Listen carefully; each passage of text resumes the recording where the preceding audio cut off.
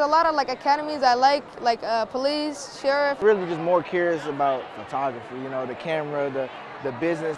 The welding. I like welding.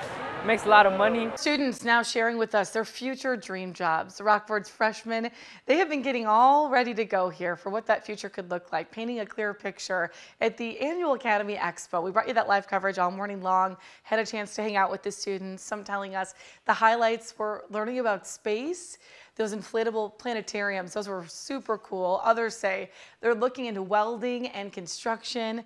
Seeing at it, seeing how it works, you know, it kind of opened my mind about it. Something that he told me to do is like with the with a with a heat gun, and then you just put pressure on it to like kind of close it so that nothing gets into like roofs and stuff. Kind of interesting as well as it helps you a lot in life, you know, money-wise as well as you know, learning how to do stuff in general.